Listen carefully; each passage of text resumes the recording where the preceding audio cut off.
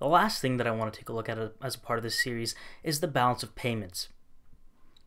The balance of payments accounts record a country's international trading, borrowing, and lending. The current account records receipts from exports sold abroad, payments for imports, net interest income paid, and net transfers. So it's equal to net exports plus net interest income plus net transfers. The capital and financial account records foreign investment in our domestic country minus our investment from our country abroad. The official settlements account records the change in our central bank's official reserves. Um, this is the government's holding of foreign currency.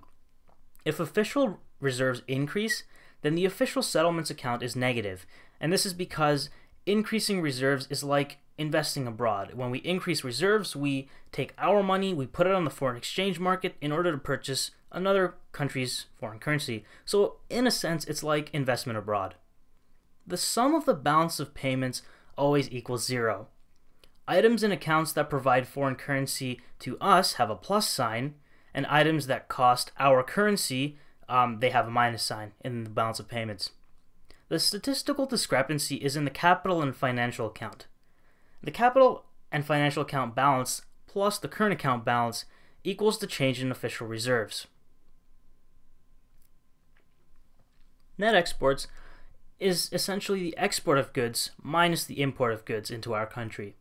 The government sector balance is the net taxes of a government minus that government expenditure on goods and services. If this is positive, then the surplus is lent to other sectors. If it's negative, then the government sector deficit equals the deficits of the of the central bank, uh, the provincial and local governments. The private sector balance is equal to savings minus investment. If savings exceed investment, then surplus is lent to other sectors. But if investment exceeds savings, then a private sector deficit is financed by borrowing from other sectors. A net borrower is a country that is borrowing more from the rest of the world than it is lending.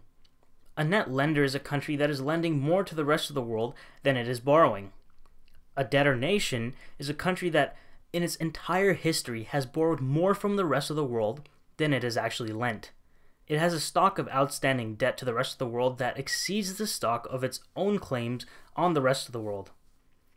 A creditor nation is a country that during its entire history has invested more in the rest of the world than other countries have invested in it. So it's lent out more money than it's borrowed in its entire history. An international borrower is in essence a country in which the demand for loanable funds is greater than the supply of loanable funds. And keeping in mind that we actually have a world supply of loanable funds in this market as well. The interest rate is held at the intersection between the domestic uh, demand for loanable funds and the intersection of the world supply of loanable funds.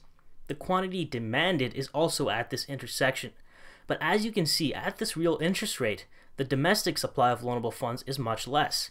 And so the difference, as you can see, that's pointed out by the arrow, the orange arrow, is actually how much is borrowed by that country.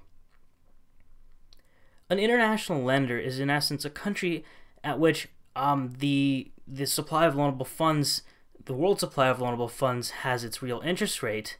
Um, it actually supplies more loanable funds domestically than is demanded. The quantity demanded of loanable funds at this real interest rate is actually less than the quantity supplied. And so it lends this excess, this surplus um, loanable funds to the rest of the world. And so it's called an international lender.